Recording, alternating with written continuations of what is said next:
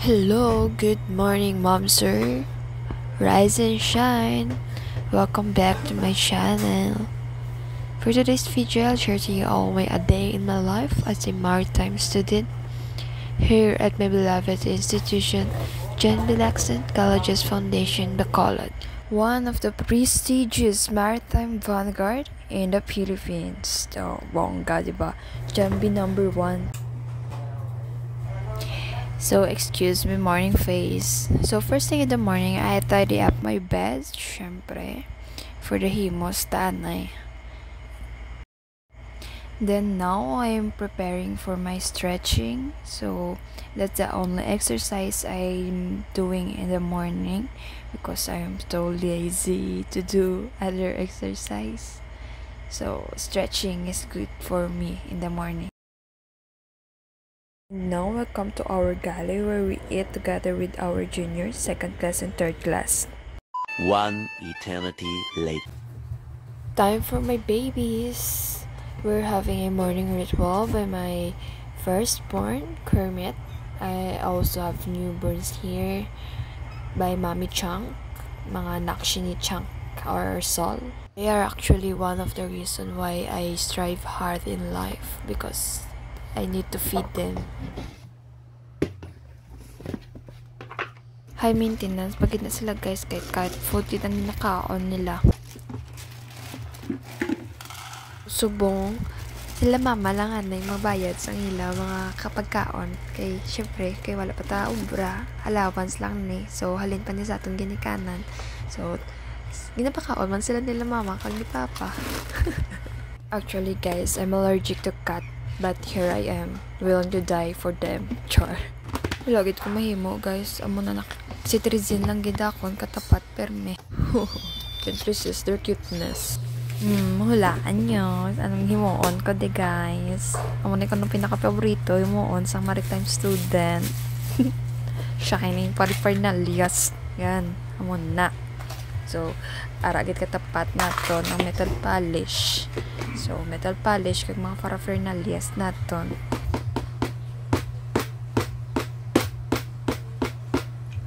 Did you know guys that we have a meaning and symbolism of different paraphernalias that kina sinuksok-sok ta adlaw-adlaw sa school. So color pin or ang color arc anchor pin ga symbolize sa kuno sa aton maritime profession which is seafarer.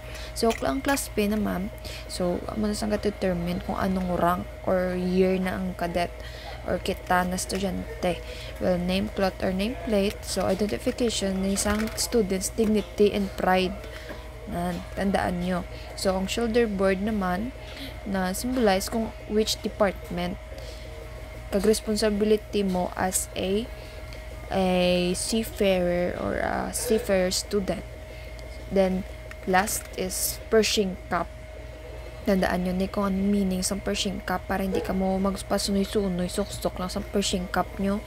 Symbolize ni is authority and symbol of an officer. So, dapat pakita nyo gid na snappy ka mo magsuksok sa tanan ni. You can also have different pin from your organization. So, for the ligo, natasubong guys, kay syempre, need naman maging fresh, magsulot ta sa eskwela.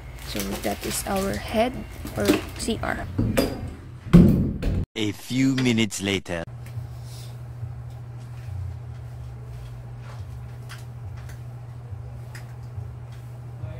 So, this guy niya akong giho subong kay 30 minutes na lang before mag 7 kay 7 akong klase.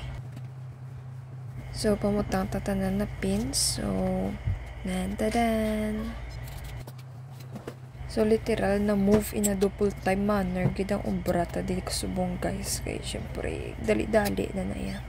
Pero dapat, syempre, tadlong gyapon ang aton pagkaubra or pagsuksok sa mga uniform ta para snappy talagtawan. Wala pa husay-husay. So, one of the hardest thing as a female in this profession is amo na gas gapungos nabasa ang buhok. So sakit-sakit na sa ulo. Guys kabin pa kung init-init pasagwa so dumapanot na ko na.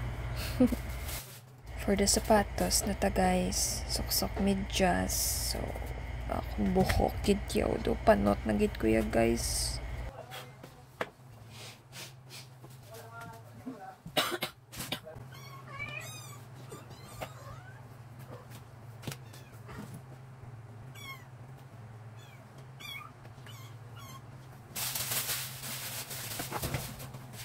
Then, syempre, need naman maging presentable. Yung sakto lang, hindi yung sobra, yung sakto lang. Need naman na guys, kasi syempre, law ay na tagani, mapalaw ay kapag kitcha. So, amo na himos ta sa mga gamit ko. So, sok-sok, sok-sok na sa aton uniform. So, make it snappy. Kay mapapermat tas ang clearance for today and so damo pa ta obrahon mga laboratory man. So one of the advantage as being an ROTC officer may ara kami snappy line niya sa likod namon. So di ko na napakita kung pagplansya sina kay gabi palang gaplansya na ko na. So aga na ko binagsugod video so pasensya lang kay wala ko video sa pagplansya ko. So, we're now settled and okay. Okay, so ma-proceed na kita. So, muna akong final look for today's video.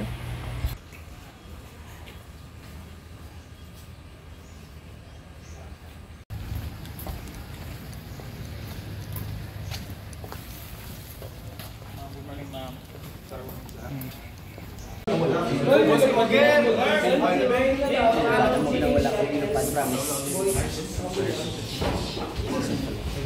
very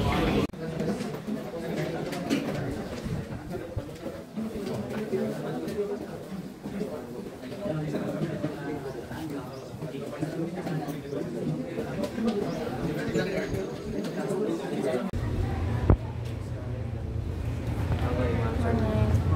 tayo mga